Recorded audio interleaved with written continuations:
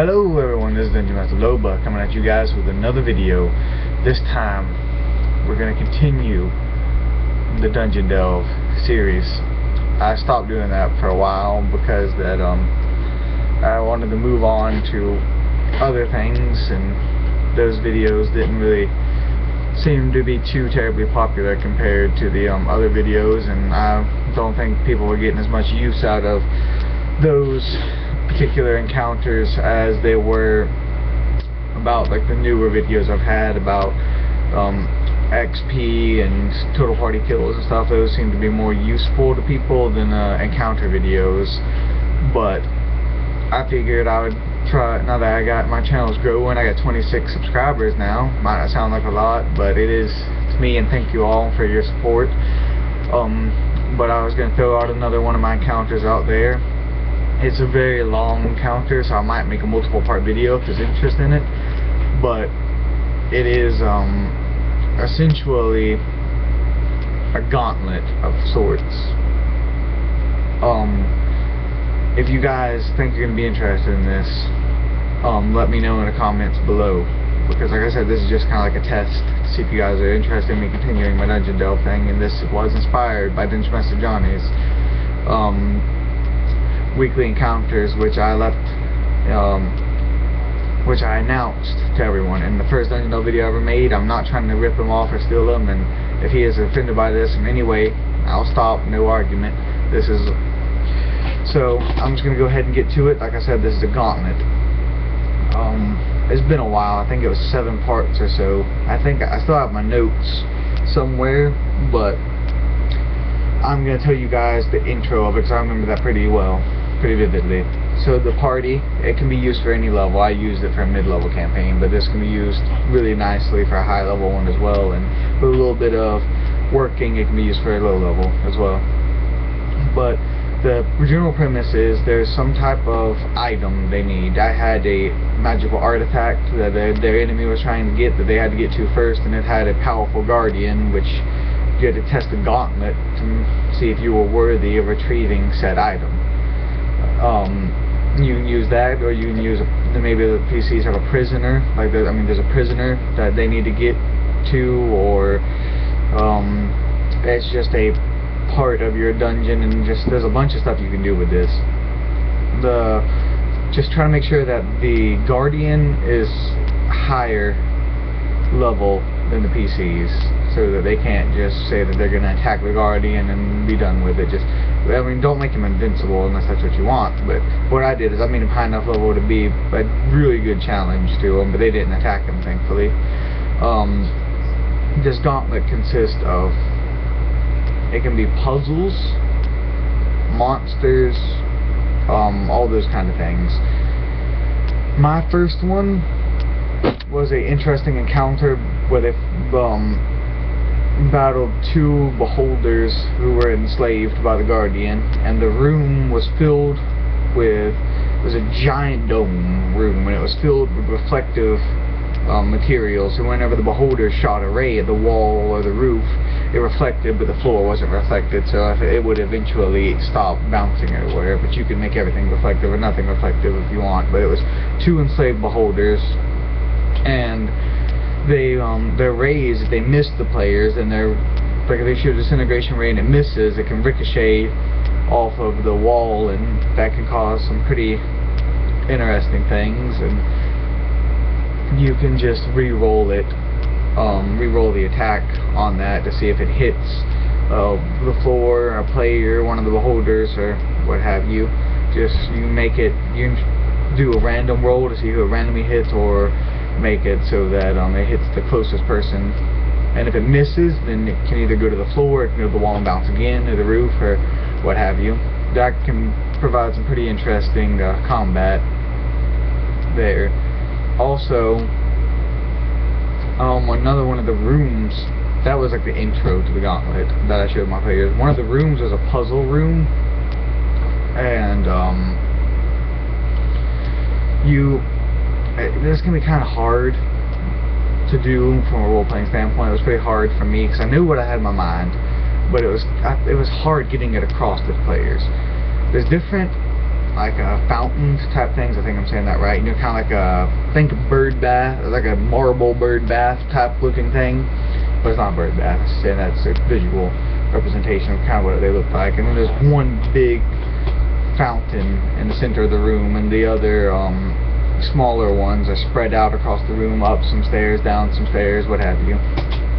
And they're all filled with blood, and there's pipes going to the center, and that pumps the blood from the fountains into the central fountain.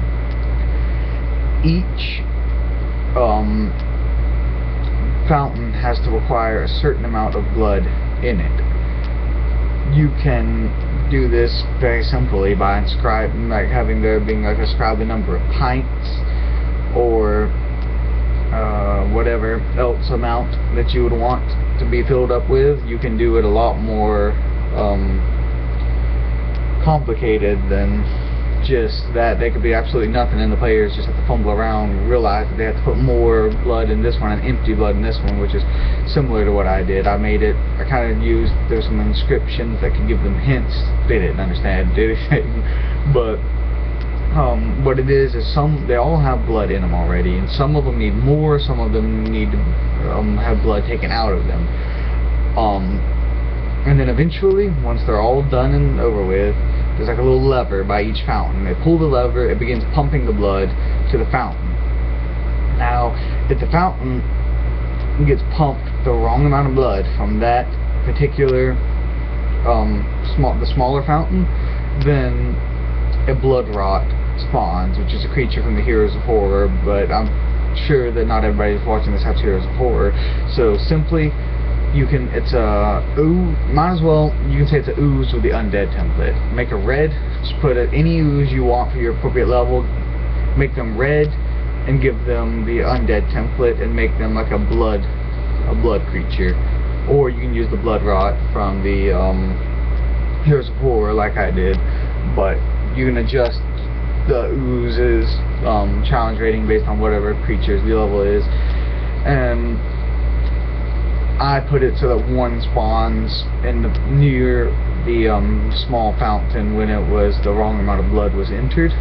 You can do it any way you want. That's what I did, and um, players pretty surprised by it. So that that can be some good fun there. Um, there's an, another room it's room three now. This is more of a it's kind of a puzzle kind of designed to punish the players a little just get them hurting. Um, there's a bunch of chains that they have to hook to themselves and walk across the suspended platform and pull different leather levers in the order. You can do very simple.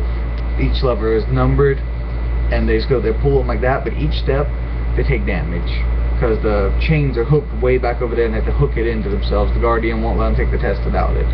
So it's um, you can adjust it low health, high health, whatever you want, or even do some constitution damage in there if they stay on too long. I also had some um, of the platforms where they stepped on them, they would collapse and um, the hooks could either suspend them or they could try to jump to the other one in time. They made a reflex save. Um, the way I did the levers is that you had to be in a certain part of the platform to see what lever had what number on it, and um, it, was, it was a very simple puzzle. I kind of came up with that one on the fly, so um, yeah, you can make it a lot more complex if you want, but um, that's I liked that idea because of the player it's a lot more um, punishing than simply the players going and pulling this lever and they're like, okay, nothing happened, just pull all the levers until they get something right. This is one creative, well, I thought creative way to punish them outside of a, um, you know, like a standard arrow trap or something like that, or a frost trap.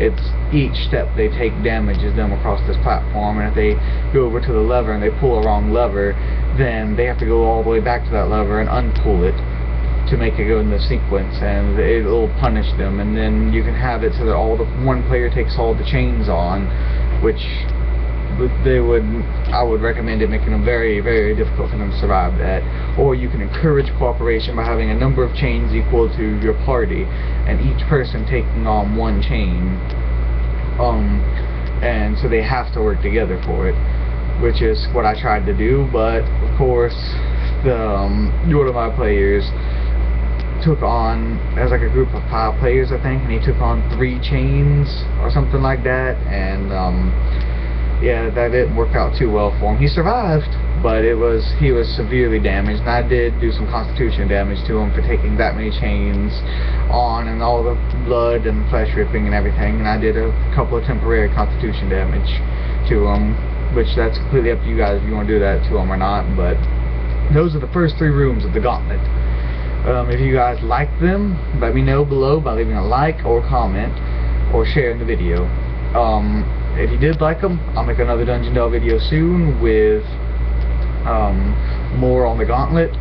Also, I'm not moving guys, not anytime soon anyways, so sorry about the lack of videos, and I hope to put up some more videos soon. If You got any suggestions for videos, leave them down in the comments below. Like, share, subscribe if you enjoyed the video dislike it if you didn't, but please leave a reason below in the comments why you didn't like it.